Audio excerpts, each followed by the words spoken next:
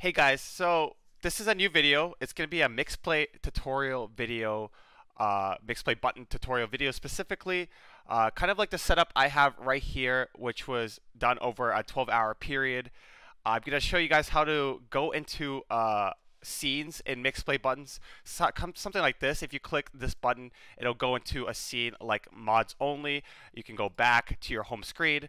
Uh, as an, another example, you I'll show you guys how to input GIFs into your Mixplay buttons, as well as having sounds onto those GIFs. So let's get, a, get an example. Mission failed. We'll get them next time. That's a button that I have. You can go back into your original uh, scene. So I'm going to show you guys all that, including how to put pictures and including how to add commands and put stuff like this into your Mixplay uh, mixer stream.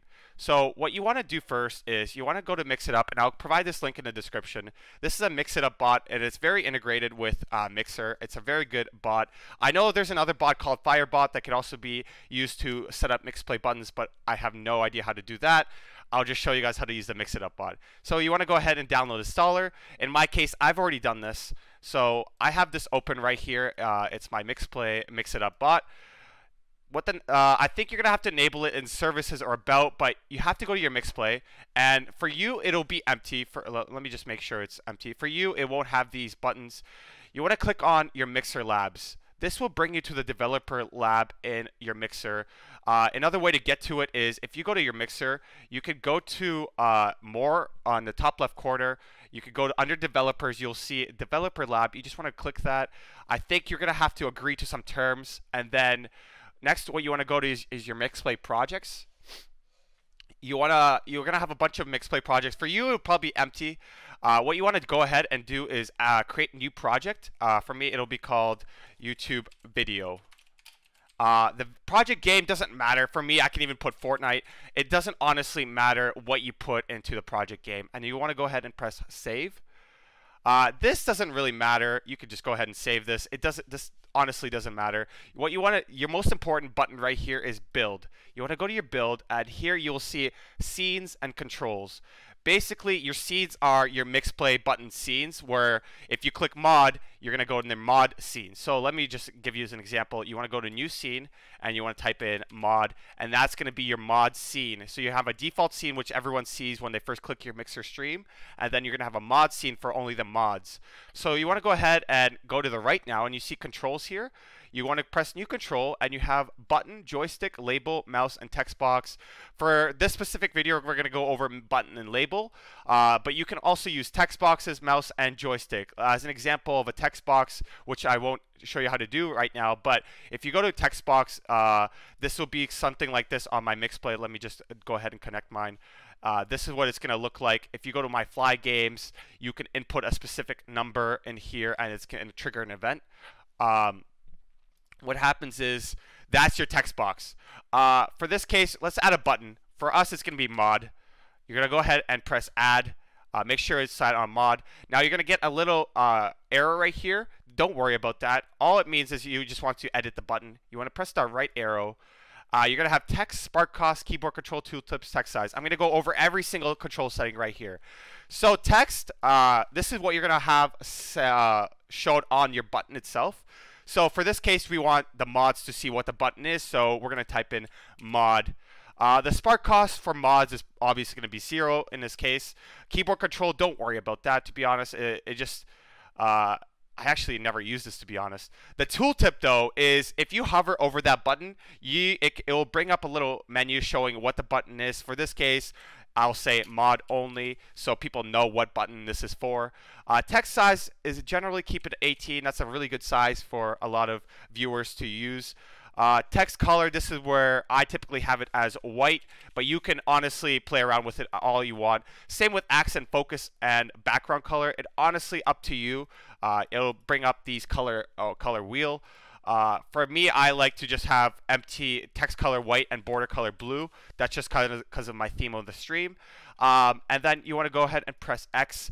You want to drag and drop this control onto the grid. And you'll see right here. You want to drag and drop this button. You can resize it any way you want. Uh, just be aware that you do have uh, tablets and you do have to set up for your phones as well. Uh, so there's three different integrations for MixPlay buttons. However, once you make the buttons, all you got to do is go to your tablet and just drag and drop as well. And there you go. You have it saved for both uh, tablet and desktop, and then you can have it set up for phone as well. So you just drag and drop here. Now let's go back to your desktop because this is the best way for me to show you. Uh, so now your mod button is saved. You want to go ahead and press save. Now, since you want a double scene, you want to go ahead. Oh, oh, I saved it in the wrong thing. I'm so sorry, guys. Basically, you want I, I completely made a mistake. You want to have this button made on default. So you let's go. Let's remake this really quickly. Uh, I'm sorry. Let me just delete this button really quickly. I, I made a mistake, but don't worry, guys. You can just quickly redo this. Uh, mod, you go to breast button. You go ahead and drag and drop. Uh, type in mod, same thing. Zero spark cost. Uh, mod only. 18. And then white, blue. And now it's saved. Now you want to go to your mod scene. And basically what happens is when people click this button, they're going to go into the mod scene. This mod scene is where only mods will be able to view this scene specifically in the mix play buttons. What you want to do is go to controls and press back because we don't want to get stuck in the scene. We want the mods to be able to go back into the uh, your default mixer play button scene. So you want to go ahead and press, uh, uh, let's say, name it back. You want to go ahead and add button. You want to go ahead and drag and drop or vice versa. And then you want to have a back button. Uh, spark cost will be zero.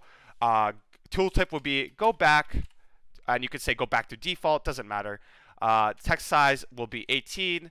White uh, text color would be white for me. Border color is blue, and now you should have it saved. Now make sure, guys, make sure you have this saved right here in the top right section.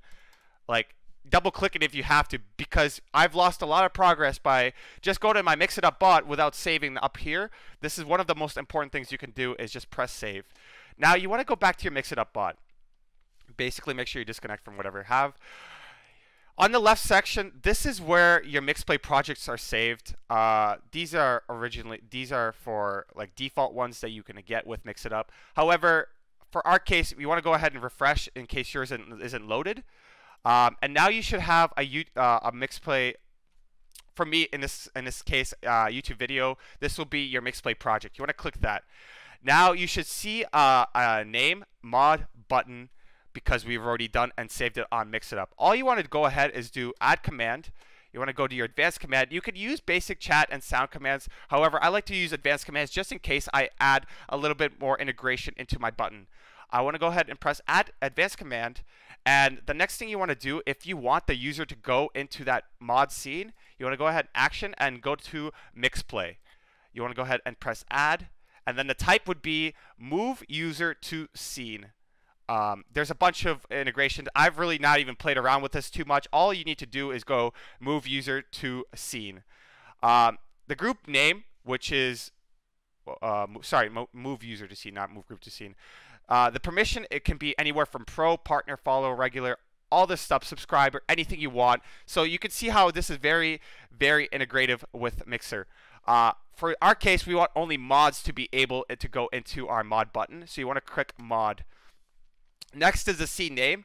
This is the most important because you let's go let's go back to the developer lab. Make sure the scene they want you want that button to go into matches this scene in uh, developer lab. So for us, it's mod. The capitalization is important, so make sure it's the right. Uh, if if there's no capitalization on mod, don't put it in. If there is, put it in. So our scene name would be mod. You want to go ahead and press save. Now you want to go back to your Mix It Up bot. Now you should see this is your scenes on the right. This is obviously your MixPlay projects. So you want to drag and drop, and now you should have two scenes, default and mod. You want to click mod, and then you have a back command. Now you want to add the command, do the same exact thing, uh, but basically you're going to have it so you're going back to your default uh, Mix It Up button scene. Uh, you go to Mix Play again, if I can find it. You go add, you go type, move user to scene and now you want to go to default. I'm not capitalizing it because if you go to our developer lab, our default uh, scene is not capitalized. Um, and then you, all you want to do is go ahead and save. And now all you need to do is literally press uh, refresh, just refresh to double check. And all you want to do is connect. Now, if you go to my mixer, now we have a mod button, which is if you hover over the tooltip, it says mod only. You click it and it will bring you to the scene where it has the back button and this is where you can add whatever you want obviously and you go and you can press go back and it will bring you back to the main scene which has the mod button. So that's basically how you go back and forth between scenes. Now let me show you how to put in pictures, sounds, and GIFs. Basically, let me just close all these tabs so it's fresh and you guys uh, know what to do. Uh, there's two different sites I like to use. For pictures, I like to use Imgur, and I personally like to. I have an account created, and so if I find a picture on Google, I would like to upload it. So I have a bunch of pictures I have here. I would like to upload it to Imgur, and basically you just create new post, and then you browse or drag images. Let me just find.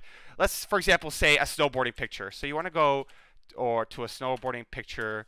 Um, you want to go to images, and let's say you want to save this specific button you go to save image as and uh, just save it anywhere you want. I save it in the download section. Uh, actually, let, me just double check if this is the right. Yeah, this is a JPEG. Make sure it's like JPEG or, or normal picture file.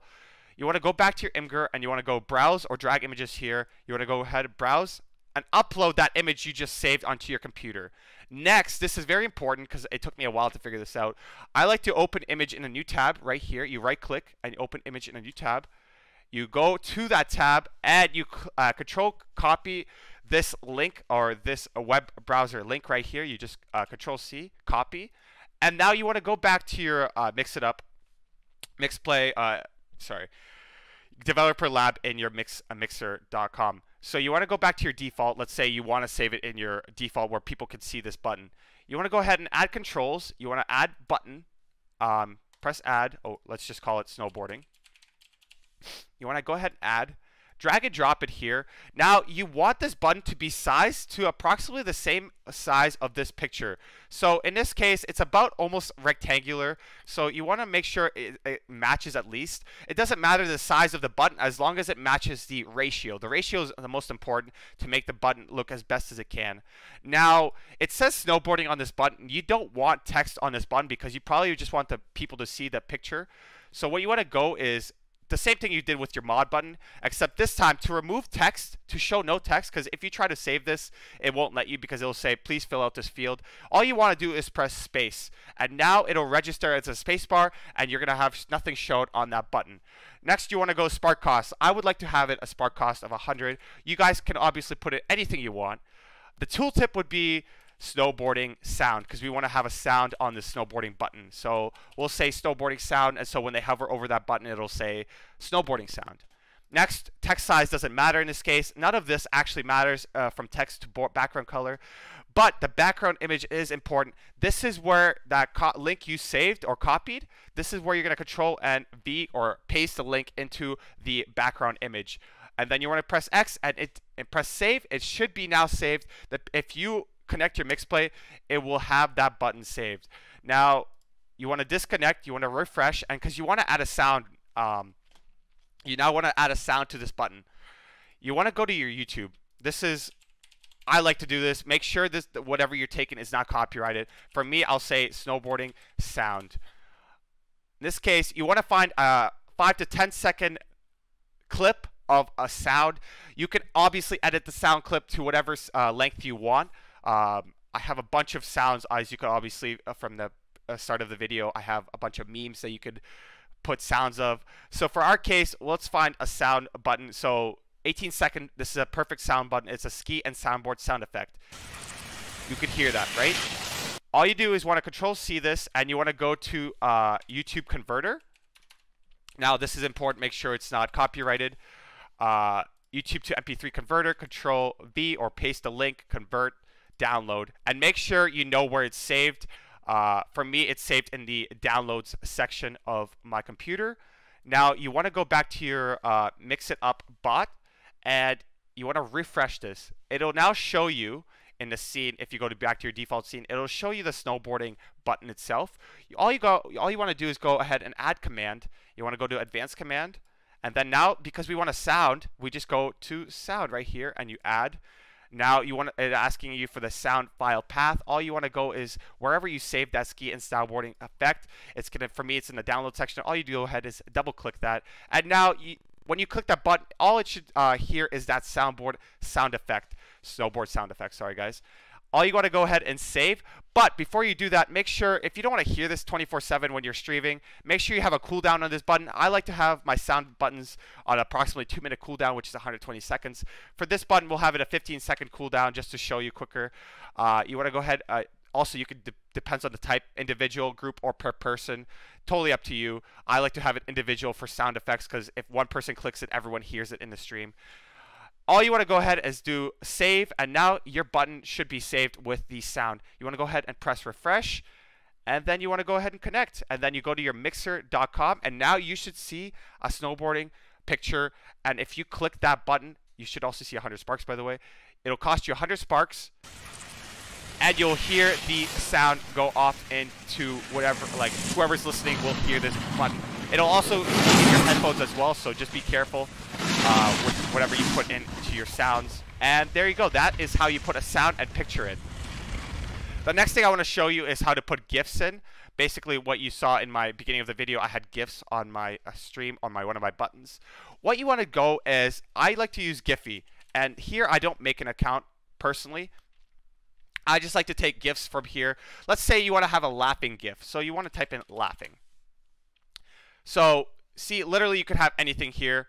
Uh, basically the same way we made the picture button for snowboarding, we want to do this for laughing. So let's go to your default scene and you want to do laughing as a button.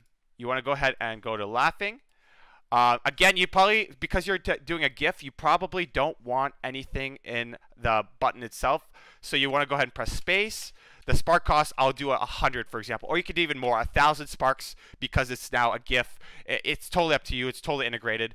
Um, your tooltip will be laughing sound or whatever you want to make it. To be honest, uh, text size again, none of this matters except the background image. Now, now you want to go to your laughing GIF. Let's say we want to have um, Ricky Gervais laughing.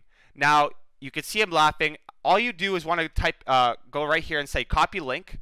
It'll bring up this uh, four links here. All you want to do is look at this GIF link right here, Control C or copy it, and then you want to go to back to your developer lab and paste it into your background image. And all you need to do is press X, and now it's all good to go. Just remember, the same rules apply with picture as GIFs. You want to approximately uh, check the size of the GIF. So now it's you can see it's approximately a box, a little rectangular. So you want to match it a little bit to uh, to your mix, play button. So for me, I'm going to have it a little bigger, and this is approximately the same size as the Mixplay but or the GIF button itself. So you want to go ahead and press save. Now it should be saved if you actually go in, into your mix play buttons and connected it, you will see him laughing. But you want to have a sound now, and so the same rules apply. Go ahead and disconnect refresh this. You want to click this right uh, button beside the groups. And now you should see a button called laughing, uh, cost a thousand sparks, and you want to type in add command, go to your advanced command, and you want to go to sound. Uh, let's say you want to have a laughing sound. Same, same, uh, same thing applies. Let's go to laughing sound, and again, this is a 14 second laugh. You'll hear it. it's one of the iconic laughs as a meme. You want to go ahead and copy this. You want to YouTube convert it and same file location save. Uh, now you want to go back to your mix it up but and you want to go ahead and add this and find the sound path file and you should see laughing sound effects. You want to double click this uh, put a cooldown of 15 seconds again and save. And now you should have the button working. Make sure you refresh this and then you go ahead and connect this. And then you'll see on my mix play button you'll see a gif. The guy is laughing with a thousand Ricky Gervais and a thousand sparks for that button. If you click it you will hear the laughing meme sound and basically, this is how you set. Well, let me finish him laughing.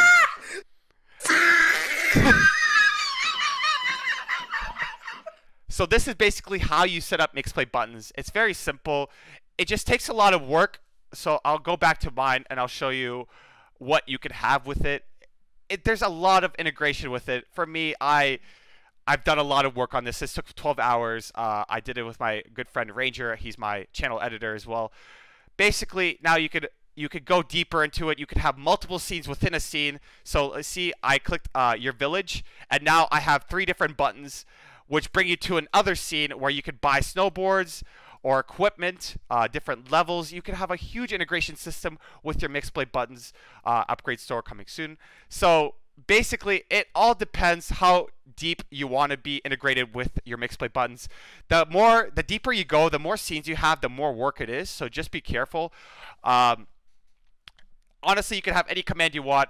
If you want a chat command, let's say, let's go back to uh, my YouTube video and uh, let's say you want to have that lapping sound bring up a chat command.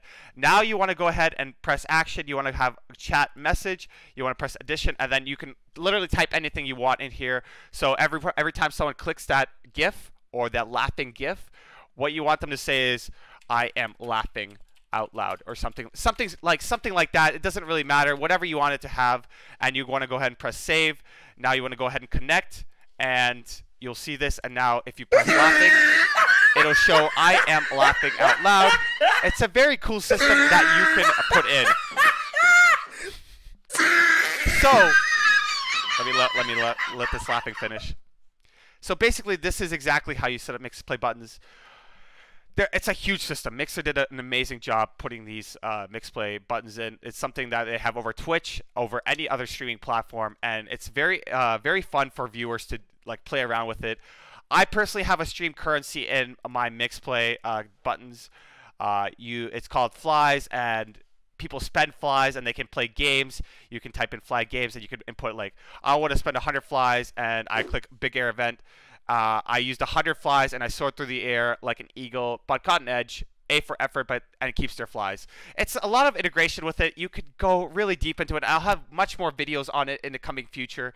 But this is basically the beginning uh, beginner uh, mixed play tutorial for you guys. I hope you guys really enjoyed the video and please let me know down in the uh, YouTube comments descriptions comments. If you have any questions, I will reply to you instantly. Uh, if you want, you can ask me directly if you go to my uh, my schedule and you catch me live uh, and you type in. Let's say you have a question. You'd be like, "How do I input like?" a currency system. I will explain it to you guys. I'll talk to you guys through it live while I'm streaming. Uh, to go to me, it's mixer.com slash trofly, T-R-O-F-L-Y guys, if you want any tips, make sure you just go to my Mixer and I will explain to you everything. I wish you uh, all the success as a streamer on Mixer, and I hope to uh, meet wonder all you wonderful people there. Have a wonderful day, everyone.